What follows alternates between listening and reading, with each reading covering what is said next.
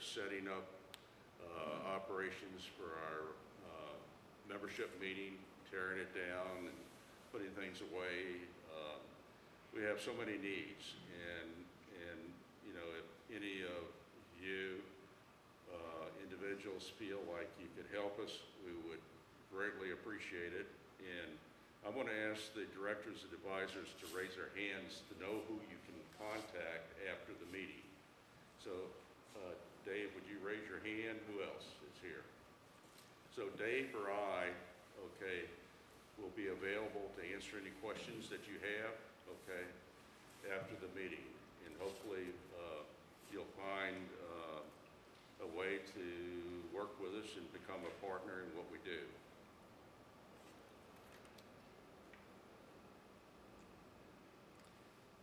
Uh, The the next thing I'd like to mention is please reserve your questions in regards to tonight's presentation or after the speaker has concluded his presentation. If you have any questions, raise your hand and I will bring the microphone to you.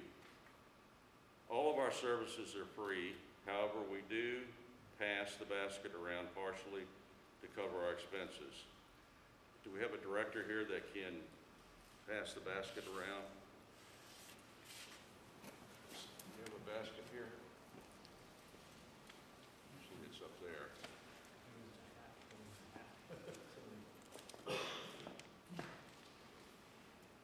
Well, Dave is trying to find a basket for donations. Let me move on. Uh,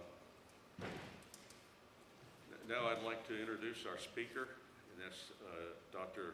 Kamrava, who is currently chief of the brac- uh, brachytherapy services at Senior Sinai Center. Dr. Kamrava did his residency training in radiation oncology at the National Cancer Institute, followed by a brac- brachytherapy fellowship at UCLA. He subsequently was hired on staff at UCLA, where he was chief of the Gynecologic and Sarcoma Services, as well as a member of the Division of Brachytherapy. In 2015 and 16, he was promoted to be the Director of Brachytherapy Services at UCLA.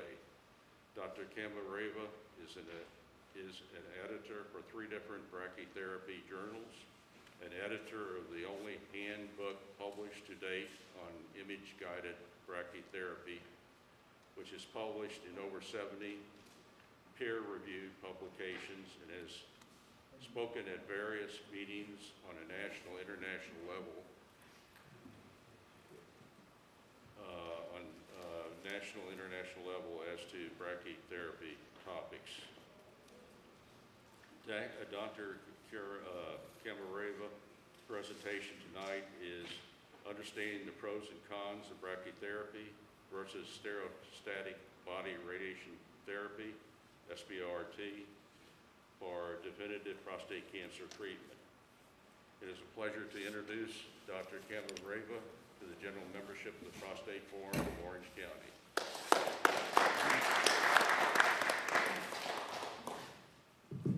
Okay, well, thank you guys for uh, having me. I'll just keep my uh, phone here, keep track of time. Um, I'm Mitch Kamrava, I'm uh, at Cedar Sinai, um, and I'm a radiation oncologist. Purpose of tonight, I think, is really just to focus on two of the kind of more high-tech technologies kind of in radiation oncology, um, brachytherapy and SBRT, or stereotactic body radiation therapy. So um, I think oftentimes it can be a big challenge in consults to cover all the different topics and to leave with a reasonable understanding of your options available to you. So we're going to kind of spend our time really zooming in on essentially two specific types of radiation. Okay? Um, I don't have any disclosures. So really we're going to review the rationale for why there's interest uh, in brachytherapy and SBRT. Um, we're going to talk about some updates in brachytherapy, some updates in SBRT, and then trying to compare and contrast the two so that um, hopefully it's helpful if any of, you, any of you are in the process of trying to make that decision. So the first thing is the space that we're going to be talking about of using these two treatments is we're just focusing on the definitive treatment, meaning when a man is initially diagnosed with their prostate cancer. Now, radiation is used in a lot of different settings. Sometimes it's used after surgery. Um, if someone has had prior radiation, sometimes we still re-irradiate the prostate, and sometimes it's used in the metastatic setting. But right now, the rest of this talk, we're focusing on using these two types of radiation in the upfront setting when you're first diagnosed. So here's the problem why it gets so confusing. I'll tell you on slide number three, basically, is that there are a lot of options, right? So modern radiation therapy, you can kind of think about as being divided into external beam radiation therapy, where the radiation is delivered from outside your body going in. In terms of external beam radiation therapy, there are a lot of different kinds of kind of durations, if you will, of radiation. There's kind of what we call standard fractionation, which is radiation given daily, Monday through Friday, over the course of nine weeks. Um, there are more and more people moving towards just four to five weeks of radiation. Um, that's called hypofractionation. And then there's the SBRT, which is done typically every other day a total five treatments, so it's done in a week and a half. Um, I do put in a little asterisk there that a lot of times people say that they want CyberKnife. Um, CyberKnife is just the name of a machine that can deliver SBRT, so it's kind of the Kleenex tissue thing. Um, so in, in essence, though, you are still asking about SBRT when you say you want CyberKnife. Um, and then the other side of radiation of what we do is not treating from outside in, but is actually treating from inside out, and that's called brachytherapy. There are two types of brachytherapy. One is called low dose rate permanent seeds, and the other is called high dose rate, which I kind of dubbed as virtual seeds, and we'll talk about that. So one of the fundamental premises here um, to discuss is that what we've learned over decades now and thousands of patients is that higher doses of radiation the prostate improves your chances of PSA control. Okay, so this graph on the left on that y-axis shows basically your chance of having your PSA controlled, so a higher number is better. And then on the x-axis is the dose of radiation that's been given. So if you look at all the kind of different points from different studies, you can see that gradually over the years we've gone from about 60 gray closer to about 80 gray. And then as we've gone higher in the dose that we've given to the prostate, we've had an improvement in our chances of controlling the PSA. But the question is, look at the top right part of that curve. There are no points there. And so the question is, would you actually do better if you actually went above kind of 80 gray? That's where we're going to start to focus a little bit. But there's a problem. If you guys can, I don't know, if maybe we can turn the lights down a little bit, or if you guys can see the screen okay. Um, but the problem is as you start to try to take the dose higher, it starts to become a real estate problem. Okay? The prostate uh, is kind of in that green in the middle there. I don't have a pointer, but um, basically in the green, and right above that in the yellow outline is the bladder. And right behind it, kind of in that orange, is actually the rectum.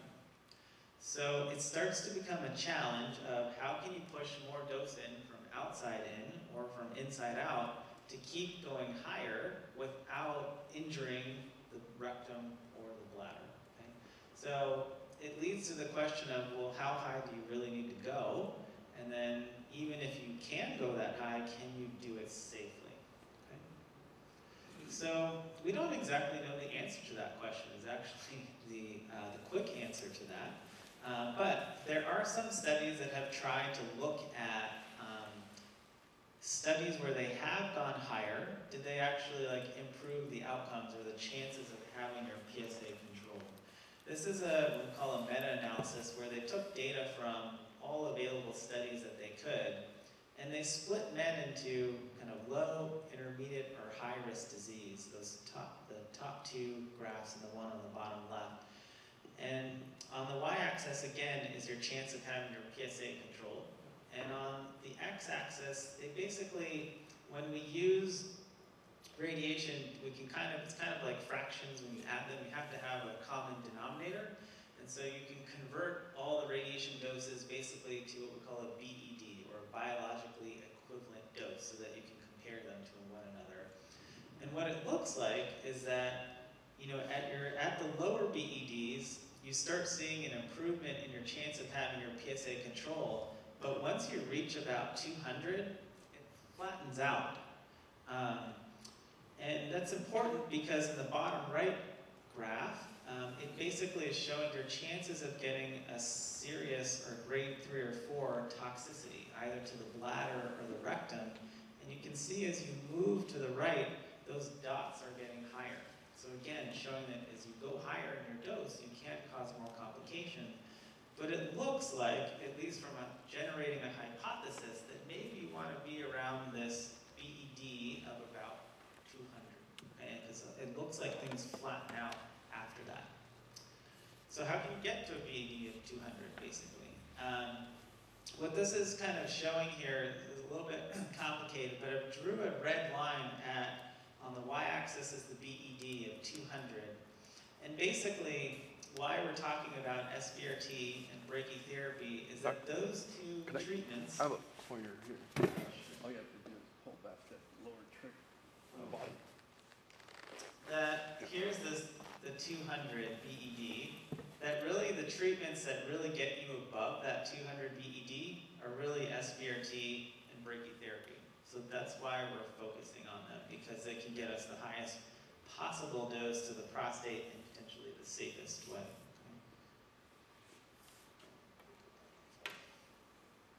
So that kind of leads us to the rest of the talk basically, which is both brachy brachytherapy and SBRT can get us these high biologically equivalent doses to the prostate.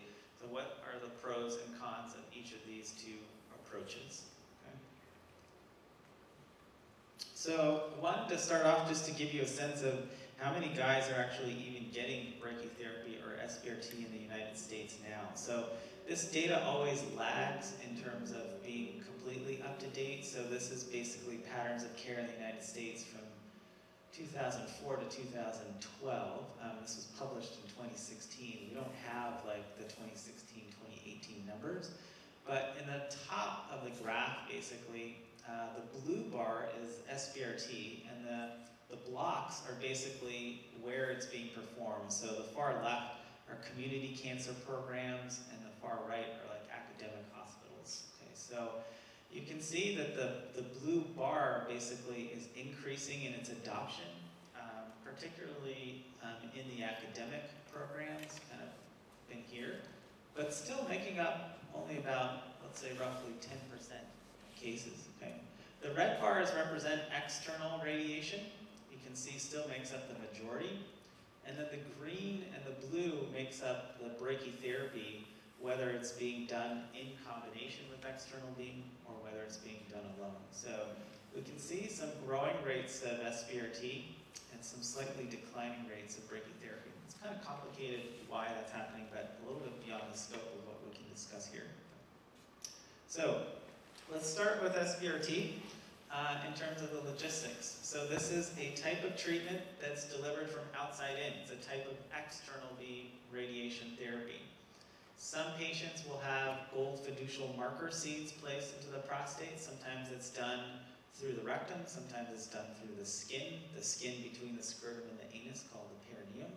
Some patients will get something called SpaceOAR, which we'll talk about, not everyone, but some will. And then after that, what happens is you have a CT planning session called a simulation. You go home, um, usually takes most places about a week to turn a plan around, then you would come in for treatment that would be given every other day. It's roughly about 30 minutes of your time. Um, so you'd be done over about a week and a half. In terms of the dose of radiation that's given, it's usually somewhere between 7 to 8 gray. Gray are the units of radiation that we use. And just to give you some perspective, if you got the standard radiation treatment over nine weeks, the dose that you're getting per day is either 1.8 or 2 gray per day. So um, a significant increase in the dose per treatment. Okay. And that's just an example of an external beam machine, basically. So the fiducial marker seed placements typically takes about 20 minutes, is done either by the urologist or the radiation oncologist, usually just with some local anesthetic. Um, they're basically small little seeds, about about the size of a grain of rice. Um, and they're not radioactive, so they're not radioactive seeds. They basically go into the prostate so that when you're being treated, we can make sure that these marker seeds that we know are in the prostate are aligned correctly so that we make sure that you're being treated correctly. Okay. SpaceOAR um, is something that some people use and others do not, so I thought I would mention it. What it is is basically a, a gel basically gets put in behind the prostate. Um, give you an example here. Basically, this is a MRI of the prostate. This outline here is the prostate. Uh, right behind the prostate is the rectum, right? Um, so normally, there's only a very small amount of space behind, um, from the back of the prostate to the front of the rectum. It's this little white line of fat right here. So what you can do is you can place this gel that basically will go in between the prostate and the rectum. That's this bright white thing called space SpaceOAR that helps push the rectum back away so that you can try to limit the amount of radiation dose that gets to the rectum. And then this is mostly made out of water and gradually just gets absorbed by your body over about six months. Okay? So not everyone uses it, but some do. So I thought I would mention here's the CT simulation. Basically, you're just lying down on this CT scanner. We oftentimes make this little like bean bag around your legs to hold them um, so that you can't move that much. Um, and then we usually ask you to come in with your bladder full and rectum empty. At the end of this roughly 45 minute process, you'll get little tattoos um, that are less than the size of a dime. You go home, we work on the planning, basically. This, is done by people called uh, dosimetrists or physicists, and then all of that is reviewed by the physician. Um, and then each time that you come in, basically, when you're laying down on the table, there will be a CT scan that's done, basically, while you're on the table. And then that CT scan is compared to your CT scan when you did the simulation. So we make sure that everything is lined up correctly before you're actually treated. Once you're lined up correctly, then the treatment actually is, is started. So we'll switch over to brachytherapy. Okay.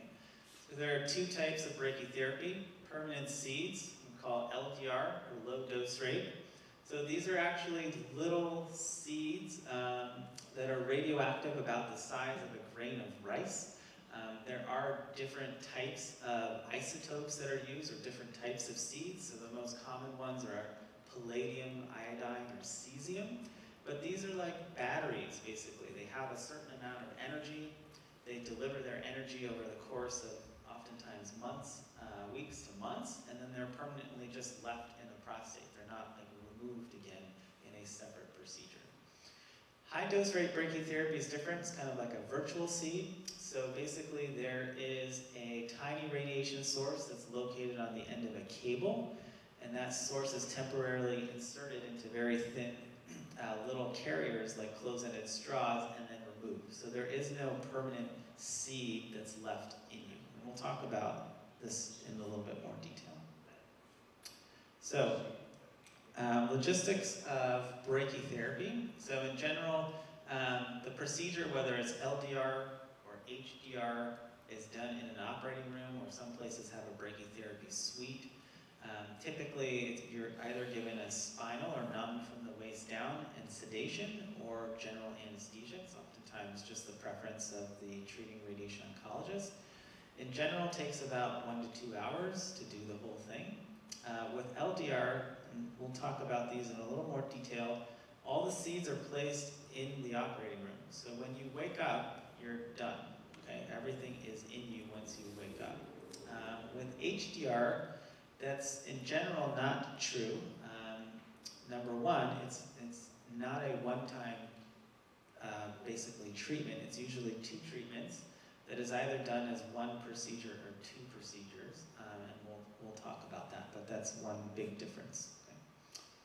So low dose rate permanent seeds, basically. Um, these are literally the seeds that will be implanted in the prostate. Here's just some perspective of the size of those seeds. Um, more commonly, the seeds are stranded together, uh, but sometimes loose seeds are placed.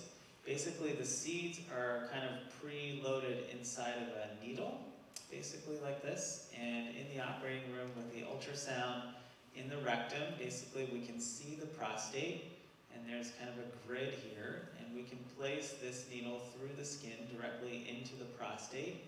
And then there's a stylet at the end of this needle where we can pull the needle back to the stylet and it will drop those seeds basically into the prostate.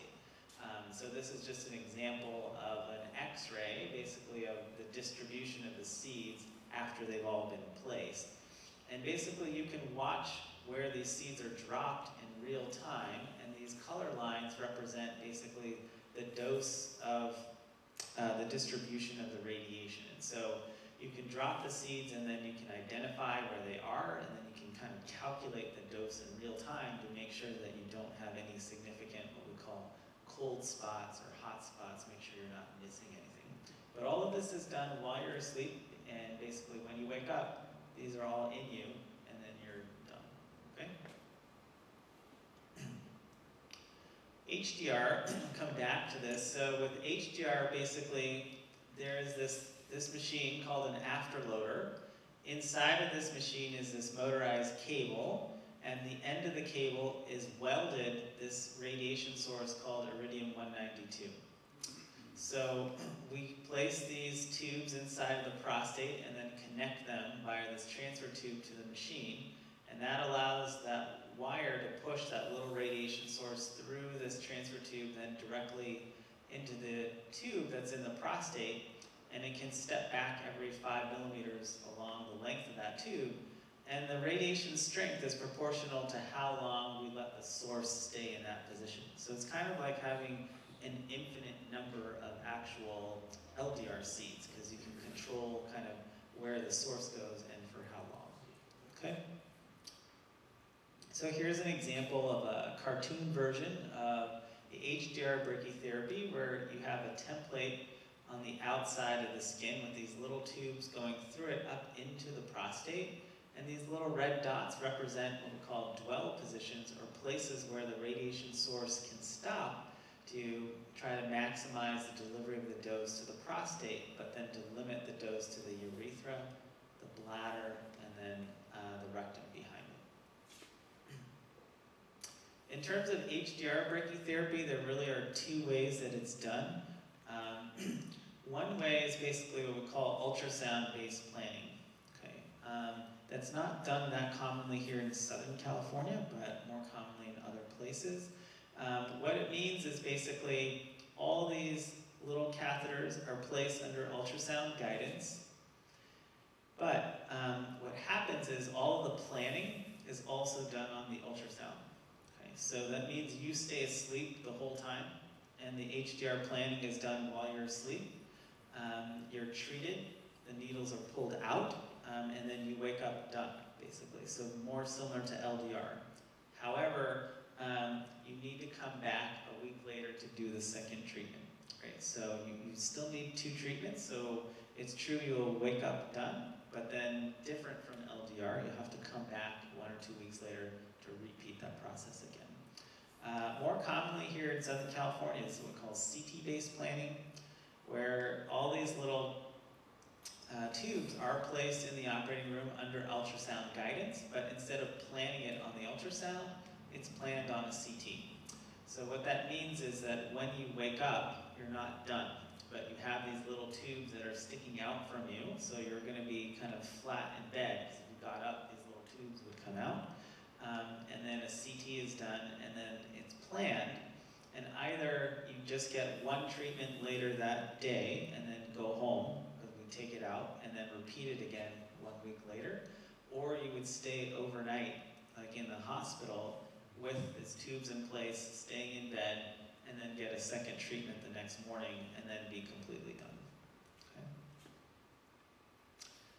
In terms of uh, why would you do HDR versus LDR, um, there are a lot of advantages for HDR. I think the majority of us are moving or have moved really towards predominantly HDR.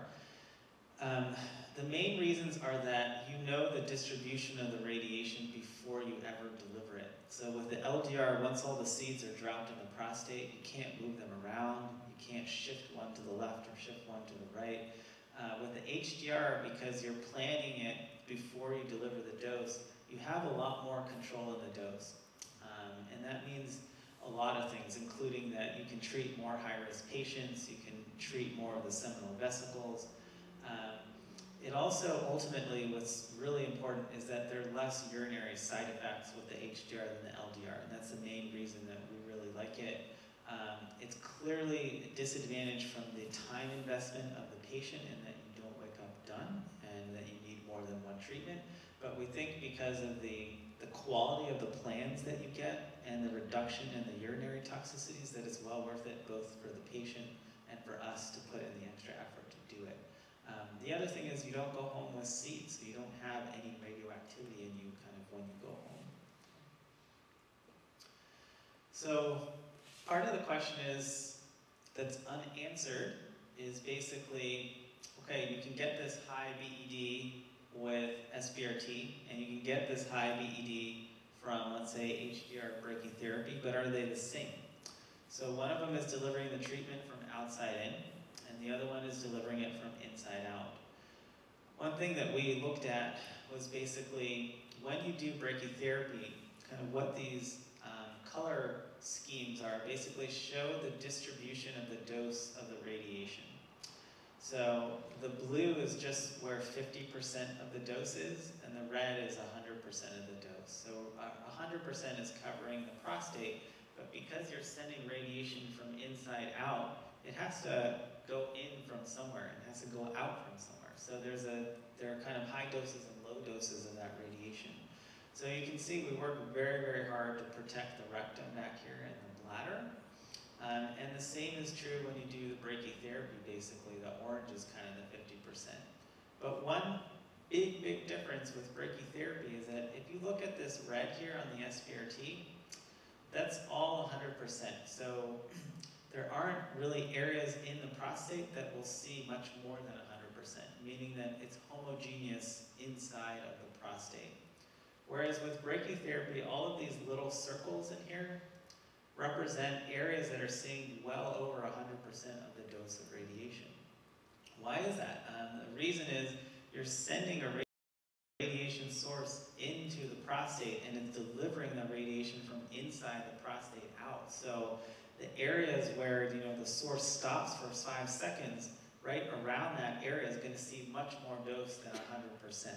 And when we tried to quantify that, basically, in looking at different parts of the prostate, so the base, which is up close to the bladder, and then the apex, which is further away, you can see that about um, about 10% of the prostate actually sees twice the dose of radiation in it, about 200%.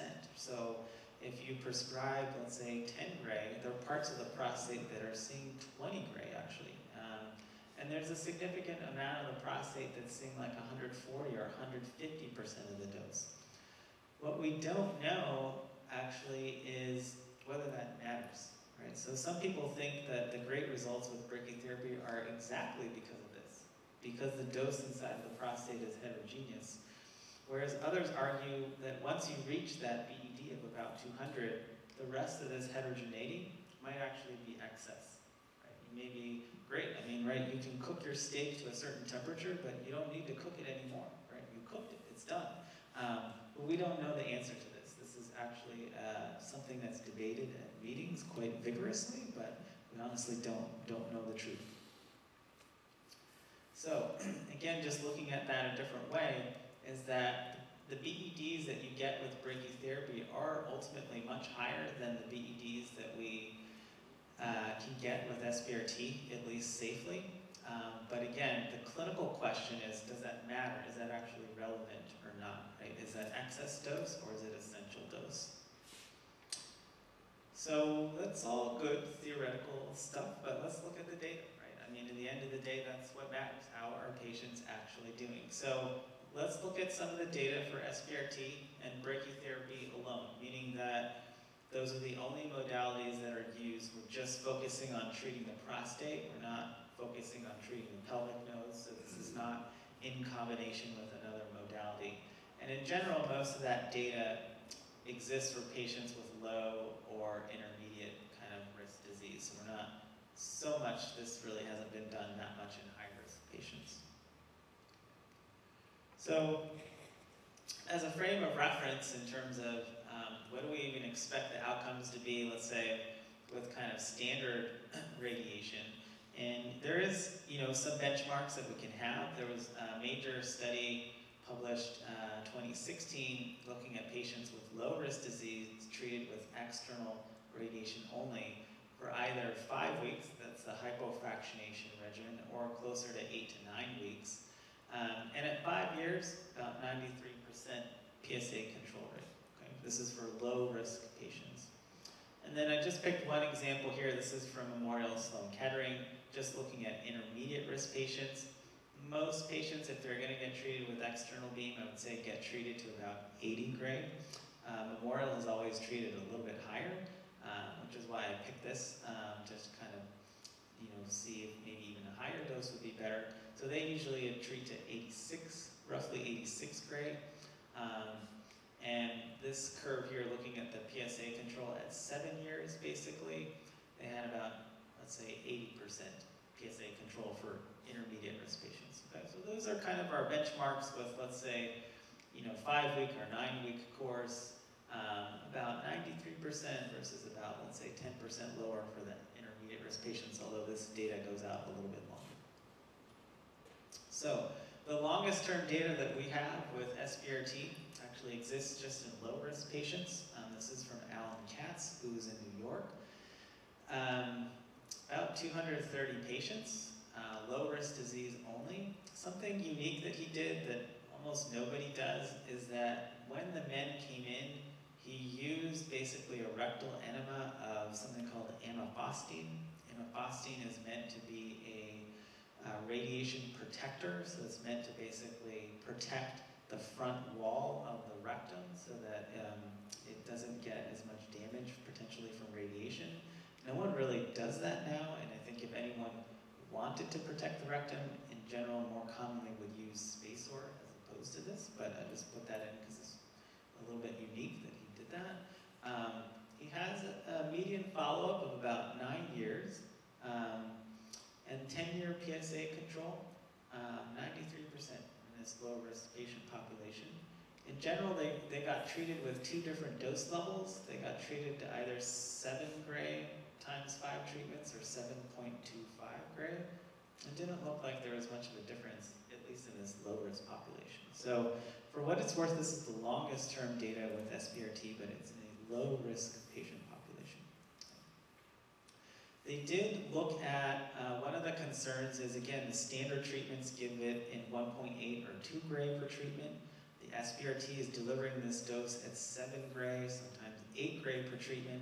There's been a fear that delivering that high of a dose could long-term cause more significant changes to the bladder, the bowel, or sexual function. So they've looked at that. Um, the most standard scoring questionnaire to use in terms of a patient-reported outcome, so this is asking patients what they think, not what I think, um, is the EPIC questionnaire. The EPIC questionnaire has different domains. Um, it has a bowel domain, a urinary domain, and a sexual one. And basically a higher score is better, meaning that you haven't had a big change in your bowel movements. And what you can see is that um, this is their baseline score. This is the time that they have a dip in their bowel function kind of right after treatment that then kind of normalizes by about one year and then stays flat. So it does not appear that over time that the bowel function gets worse despite the fact that they delivered this high dose per treatment. That's true in terms of urinary changes. Again, you see this dip right after you get treated, it then slowly normalizes and then stays pretty flat out to 96 months, at least in their experience. Okay. Biggest change, um, and this is a problem with every treatment we have, um, sexual changes um, decline kind of with time. and unfortunately are not leveling off, but they continue to decline. Okay, so at about uh, eight years, about 40% decline in their EPIC sexual scores, but the magnitude of the decline is similar to other treatments. You know, if you had gotten brachytherapy, or if you'd gotten the nine weeks, or if you'd gotten the five weeks. So this is a problem all of our treatments have. Um, the largest experience of SBRT in general was recently presented in San Francisco last month. Um, it's a consortium, so it's not a prospective study, but it's groups that have been doing SBRT that have pooled their data together. Um, it's about 1,600 patients, um, roughly evenly split between low and intermediate risk patients. Um, the vast majority didn't get any hormone therapy, so this is pretty much just SBRT alone, with about a follow-up of seven years. Um, PSA control rate, 94% at 10 years in the low risk population, and about 90% in their intermediate risk rate. So we, before we talked about 93% versus 83%. So these numbers are holding pretty strong. It's pretty good, really good results. And they're not seeing any serious late either bladder or rectal complications. Very few, few percent. Um, how about with HDR? We'll call HDR when we don't use it with external beam monotherapy. Um, these are three of the larger studies with the longest follow-up. Um, this series from Japan, basically, uh, about seven and a half years of follow-up. The five-year chance of having your PSA controlled for intermediate risk patients, 93%, very high again. Low risk of serious bladder GU or uh, rectal GI complications. Um, this is from Henrik Hauswald, uh, very large population, six and a half years. In the low risk patients, 10 year PSA control, 99%, uh, intermediate risk, 95%. Um, a little bit higher um, bladder or bowel, and no bowel issues, but about 5% uh, issues with uh, bladder. And then this was a series from myself and my old fellow, looking at about 190 patients, about six years of follow-up, um, only intermediate risk patients who got no ADT, eight-year control, 90%, and roughly again that 5% risk of GU issues. So again, looking like very high rates of control, certainly in these uh, intermediate and low-risk patients. Um, how about with low, low dose rate, LDR? Um, this was recently published from the group at Mount Sinai. Um, what I like about it is it's a very large group of men, about 750 men, with a very long follow-up. Okay, so 12 years of follow-up, treated either with iodine or palladium. Um, they were able to report out 17, 17 year rates of PSA control in the low risk 86%, intermediate risk 80%, and high risk 65%. I think one of the most interesting things about this uh, paper is that of the patients who had their PSA recur, almost 20% were after 10 years. So it just shows you this is a hard disease to study because it has a very, very long natural history. And that when patients, were, when, when we physicians report outcomes at five years, it's just too early. I mean, you're going to have many, many more events after five years, right? Um, but patients were satisfied with their urinary quality of life. Um, and of those potent at baseline, after 12 and a half years, 25% remain potent at last follow-up. So again, we have this problem with uh, potency issues with long-term follow-up. In general, when you try to look at kind of all of the studies together, um, I just picked for intermediate risk patients. This kind of, each of these either squares or stars represents a study and their outcome, and then these circles kind of represent trying to pool all the data. It does look like the best outcomes do seem to be when you include brachytherapy with external beam or brachytherapy alone, compared to just doing external surgery only. This is not randomized data, but again, consistent with this idea that you just need to get the dose high enough in order to maximize your outcome. Um, in terms of whether or not there's data comparing really brachytherapy versus SBRT, the answer is not really. Um, there's nothing randomized, but there's some retrospective work. Um, this is work from me and one of my residents where we tried to pull existing data in intermediate risk patients who'd gotten no hormone therapy and kind of comparing the outcomes. And we could only go out to about five years, but at least in the first five years, the curve of the HDR and the SBRT, whether it was a higher or lower dose, they're superimposed. They look the same. But I come back with that caveat as five years is too early, right? And we still need to wait to see if those curves separate out or whether they continue to stay on top of each other. Um, in terms of comparing the quality of life of, let's say, SBRT versus external beam or low dose rate brachytherapy, there's a very, very um, well-known study done by Martin Sanda where he used, again, an EPIC questionnaire to kind of follow patients who'd gotten external beam or low dose rate brachytherapy. And then Robert Meier um, has been a big advocate of prostate SBRT, just superimposed the outcomes of EPIC doing SBRT in the patients that he had treated. And I think the important thing here is that at least in terms of irritation or obstruction, you know, the external beam and the SBRT curves look pretty similar. Um, in terms of urinary irritation or obstruction score, it looks like, you know, LDR drops down more, so it looks like more irritating urinary-wise than SBRT. Um, but in terms of incontinence issues, not really that different and not really that much of an issue. Um, and in terms of looking at it over here with low dose rate brachytherapy, um, looks like SBRT causes some less urinary issues than at least LDR. Um, same is true here for bowel toxicity, comparing external beam and SBRT, and then LDR and SBRT. Not as much bowel issues. Mostly radiation issues are dominated by urinary issues. Sexual function, again, um, kind of gradually declining with all modalities, um, but not significantly different between them. At least going out to two years. So that's the caveat, right? This data doesn't go out all the way over here to 10 years, but at least in the short term.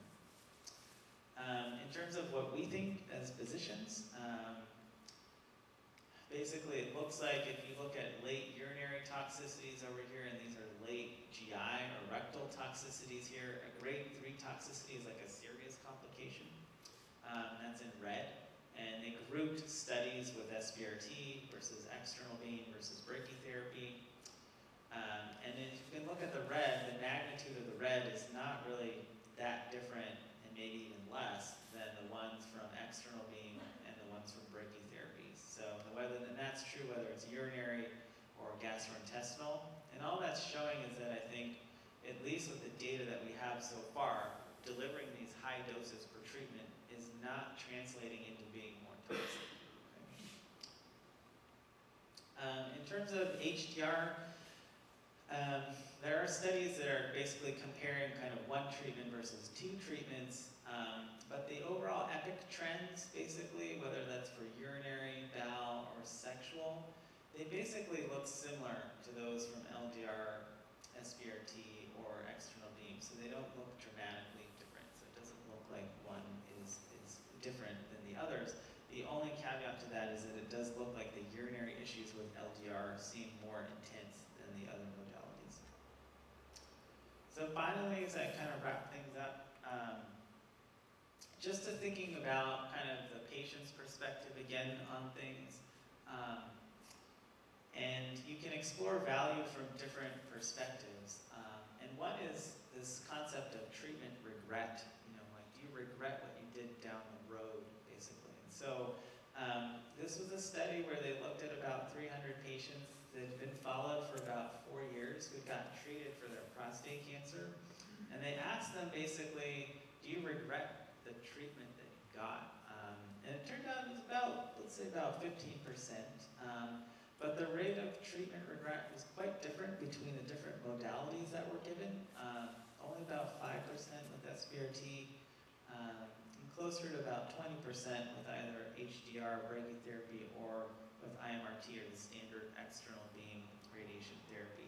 And interestingly, of the ones who had regret, most of them were ones who felt like maybe they should have done active surveillance for longer instead of actually jumping into treatment. So that was the big thing that they saw there. And then finally, my uh, comment is, um, it's really important where you get your information in terms of making sure that you can make a sound decision about what you do. And so this study was just looking at, you know, where was the primary information source used to make your decision about what to do, and then the risk of having treatment regret, basically.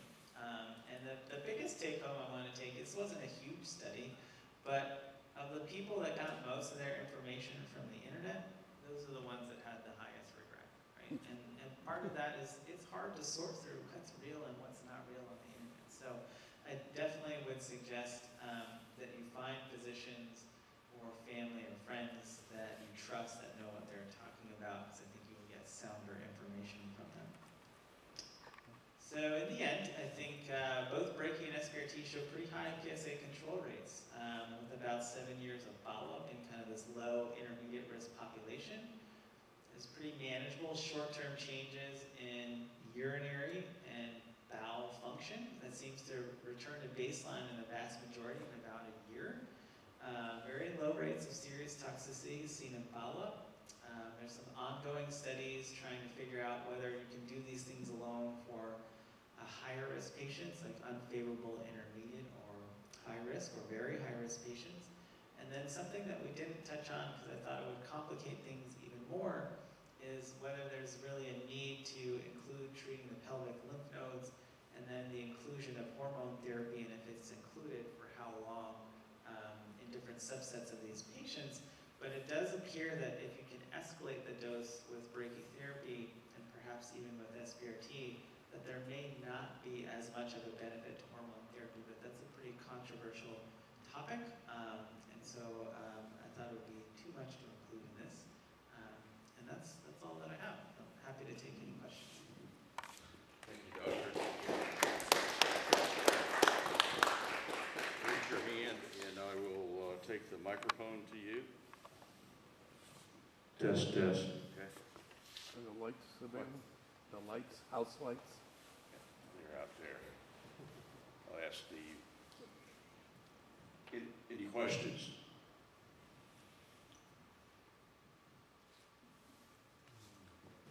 Uh, Let me ask a question in in regards to intermediate type cancer. Uh, uh, Would a combination of hormone therapy and uh, SBRT, would that, would there be any uh, advantage to that combination in treating intermediate uh, cancer to the uh, prostate uh, gland?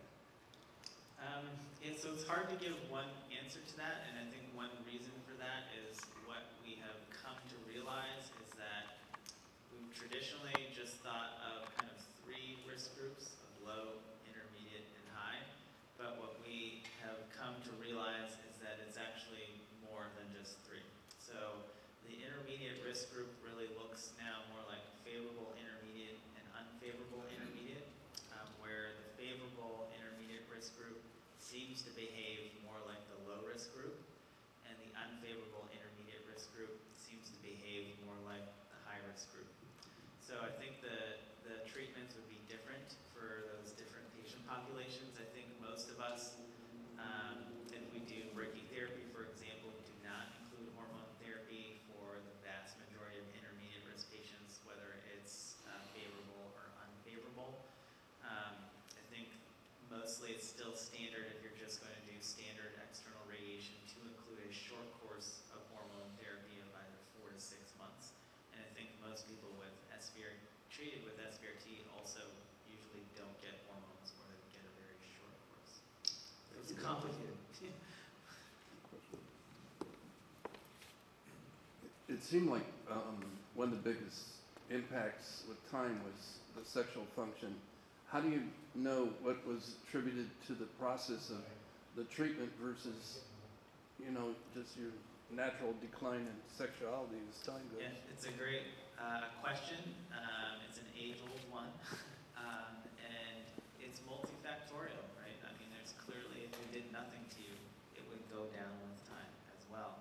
Um, so there's clearly some component from the radiation, and there's clearly some component of age. But you're right; it's very difficult to sort out how much is each. Um, but I will say is that patients that do the best in terms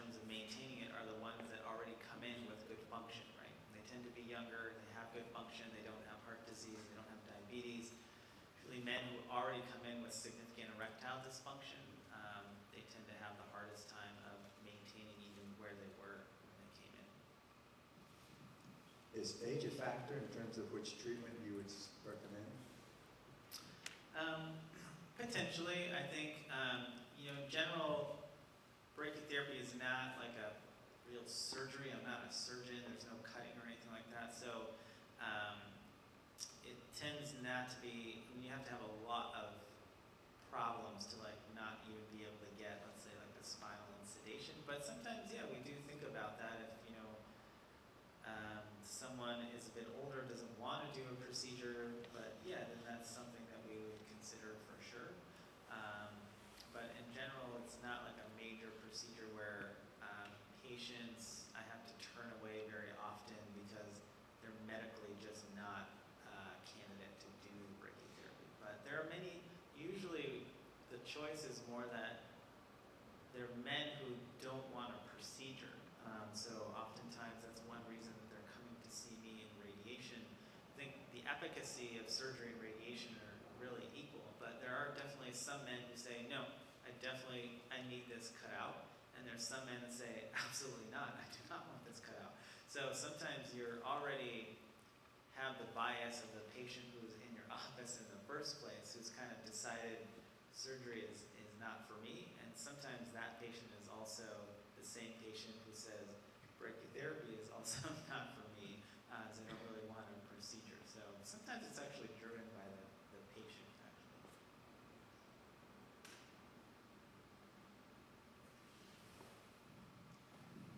In your graph, uh, you showed uh, the dip in the first year. Did any of those data points, uh, were comparing patients that had the SpaceOAR? No. Um, yeah, so there is, the, the SpaceORIC group basically did a randomized trial, uh, mostly kind of in low or favorable intermediate risk patients, where um, one group basically got a placebo, right? So they didn't know if they got spacer or not, and the other group got SpaceORIC. Um, and they've published their long-term outcomes showing sh- significant reduction in rectal toxicities from doing that, um, using the EPIC questionnaire actually. So they've shown that it's real. There's a real actual reduction, but none of that data that I showed included uh, men who had SpaceOAR put in place. There really isn't data with SpaceOAR and SBRT in terms of long-term quality of life and comparisons without it. Any other questions? Let me ask another one here, Doctor. Uh, When would you recommend using a combination of SBRT and seeds and high-dose radiation seeds? Yeah, so you would you'd probably never combine seeds and SBRT because it's too much dose. So it's usually uh, kind of one or the other. And I think the way that I would think about it conceptually is that people that are big advocates of SBRT basically argue that it is virtual brachytherapy. It's basically brachytherapy without having to go to the operating room or the brachytherapy suite. Um, and people who are big advocates of brachytherapy say, yeah, you're still not getting that same dose and the data is not out as far. So there's kind of, that's where the debate is, but I would, I think conceptually as a patient, I think it's easiest to think of, like, is SBRT actually virtual brachytherapy? Um, and we don't really actually totally know the answer to that, but you wouldn't combine the two because you're basically, you're trying to replace one with the other, kind of, if that makes sense. Any other questions? Uh, I have one more question, and that is, uh, when would you use IMRT over SBRT? Well, IMRT just refers to basically how you're sculpting the radiation dose. So when you're doing SBRT, you're using IMRT. Um, the thing that you're changing is you're changing the dose per treatment. So instead of, let's say, giving 1.8 gray, you're giving 8 gray instead. So it's, it's still the same planning process as um, just standard radiation. You're basically just changing the dose per treatment. Thank you. Any other questions? Is, is there any use of these newer treatments like that if you, if the prostate's been removed for follow-up, uh, or is it only for when you have prostate initially uh, Yeah. diagnosed? Um, so there are some ongoing studies looking at SBRT in the post-prostatectomy setting. Um, I know that there is at least one open trial at USC, one at, City of Hope, and one at UCLA, trying to basically just do a five treatment uh, post-op prostate, whereas it's closer to like seven-ish weeks now, if you do the standard post-op prostate treatment. Um, but not in prime time. Uh, in terms of patients who have had uh, prior radiation before and then still have a local recurrence, I'd still say the most standard way to retreat the prostate is with brachytherapy. Um, but there are some ongoing studies, people trying to look at, could you retreat with SBRT? But in terms of where the data is, in terms of safety and efficacy and the retreatment with an intact prostate, it's probably you know, there's much more data with brachytherapy, but, um, so, on the horizon, I guess, is the answer, but nothing today. Uh, you say that this type of therapy is for definitive prostate cancer treatment, so it's for the first treatment. What if somebody has had, had, uh, say hormone therapy treatment, which fails, can you still do radiation? Yeah, you can, I, I would, yeah, I would still think of that in the definitive category, because hormones by itself is, is not a definitive treatment, it basically just kind of delays things, um, so that, that would be fine. Thank you. Any other questions?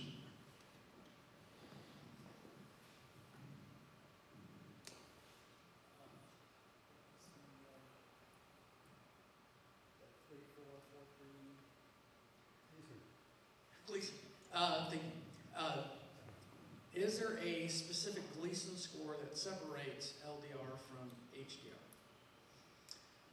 No, I think the, the main thing that separates HDR and LDR is that HDR can treat a much wider range of patients, so it can treat larger prostate sizes uh, and smaller ones. Um, patients who have had a prior, what we call a TURP, um, but it, and if patients have some extra capsular extension or seminal vesicle involvement, those are more challenging to do with LDR, um, but you have much more flexibility and control of the dose with the HDR. So really, the HDR gives you way more control um, and a wider range of patients that you can treat safely. Okay, more question.